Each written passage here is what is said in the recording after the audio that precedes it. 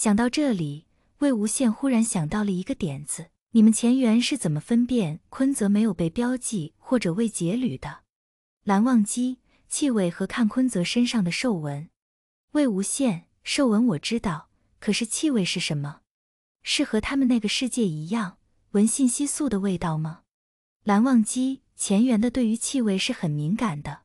如果你没有被标记，那身上的气味就会闻起来很舒适、很清香。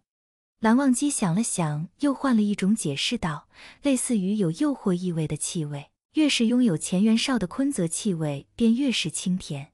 对于没有节律的坤泽来说，他们所散发的气味更是让人疯狂。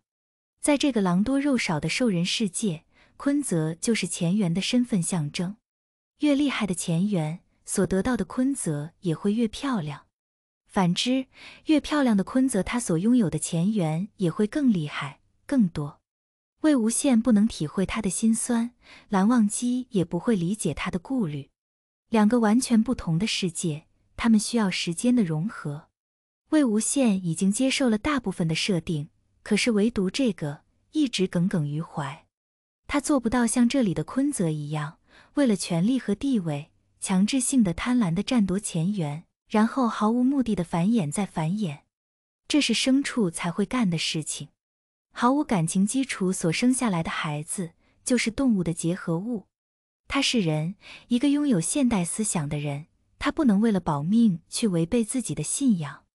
魏无羡轻声道：“我想离开这里，去一个更大的地方。”蓝忘机闻言，立马放下了手中柴火，木愣的抬头，好一会都没有回答，只是在末了道了一句：“听你的。”山林中四处都充满了危险，但是在兽城中却又是另一种的危险，一个明面，一个暗面。早上，蓝忘机把山洞里的东西收拾干净，随后装进空间戒指里，一并带走。临走时，魏无羡犹豫地走到他面前，几度张口都没有说出来话。蓝忘机将东西放好，随后道：“放松，一会就好。”魏无羡有些尴尬道：“哦，好，那我找一块平稳的地方躺着，让你来。”他没有去追问蓝忘机什么是气味标记，只是觉得这样做没有错，是有道理的，大致和他印象里的临时标记是差不多的意思。只是流程不一样。蓝忘机嗯了声，带着他去了外面那块他经常编织寿衣的石头上。虽然两人昨天晚上刚吵过，可今天谁也不提，又如同和往日一般。看着蓝忘机那张清冷的脸，不由得抓住他的袖子，小声问道：“这个标记会对你有什么影响吗？”蓝忘机不撒谎，如实回答道：“嗯，会让我对你更加依赖。”一听这话，魏无羡立马就睁大了眼睛。神什么？他推开蓝忘机本就抱地不紧的手臂，少许气愤的小骂他道：“你是不是傻呀？这和往自己身上套缰绳有什么区别？”蓝忘机再次不作声。他本以为这气味标记只是象征着自己被这蛇兽气味标记过了，可是没想到还有这一层意思。魏无羡抛出问题，那自然是要问到底的。你到底还有多少事情是没有告诉我的？这个标记他们已经在之前就标记过一次了，那时候他不懂就莫名其妙的同意了。现在这么看来，蓝忘机指定是受了那一次的影响。魏无羡回想着之前，思绪飘忽起来，不由一惊，所以才会有缺氧和晕厥的症状。蓝忘机知错的低下头，承认下了这件事情。魏无羡扶住头。半晌，又纳闷道：“那为什么我没有受到影响？除了过程中和结束后有点缓不过来，好像其他的也没有异常。”蓝忘机萌萌的抬头，一时间不知道该不该说他些什么。这种事情按理说不需要教坤泽就会知道的，怎么他什么都不知道？蓝忘机耐心解释道：“你是坤泽，自然不会有影响。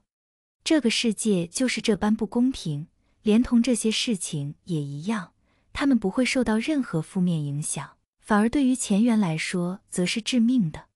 既然对自己不算是什么坏事，又能更好的保护自己，魏无羡那肯定没有其他的话说，只是魏无羡替蓝忘机感到不值。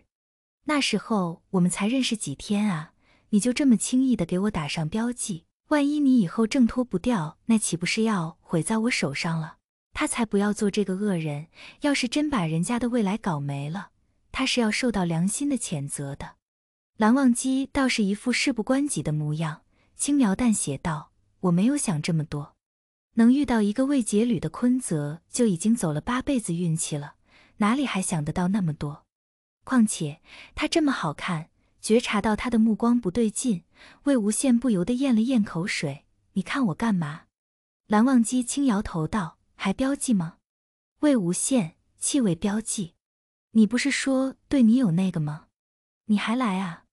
蓝忘机无事，本主说无事，可他这个受益者却承受不住了，那也太对不住你了。我魏无羡不是什么喜欢占人便宜的人，你有什么想要的吗？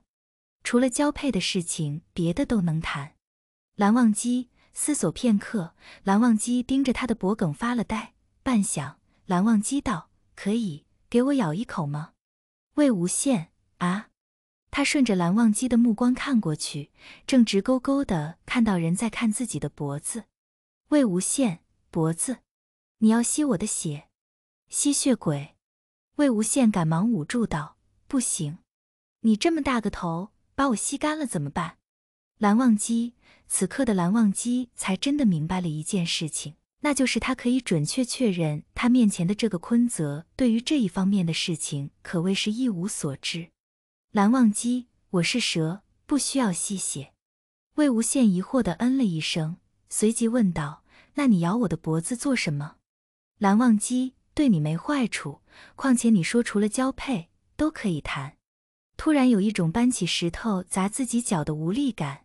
魏无羡摸了摸自己的脖颈，心中默念：“我的小脖子啊，先牺牲一下你，挺住。”魏无羡深吸一口气。闭上眼睛，如同赴死般道：“来吧。”静默许久，魏无羡咬着牙等待着，心里忐忑的不停快速跳动，直到这样的凌迟在他蛇信子舔上来时才结束。魏无羡依旧闭着眼问道：“不是说咬吗？”蓝忘机耐心解释道：“这样不会留有伤口，你也不会痛。他的蛇信子上有一种特殊，在捕捉到猎物的时候可以快速使其麻痹。当然。”如果分量小的话，就能有麻药的作用。扑哧一声，锋利的尖牙刺破进他的脖颈，魏无羡呼了一声出来，刚要本能的推开他，下一秒就被他死死的按在怀里。只不过眨眼间，那脖子处就泛起了红肿。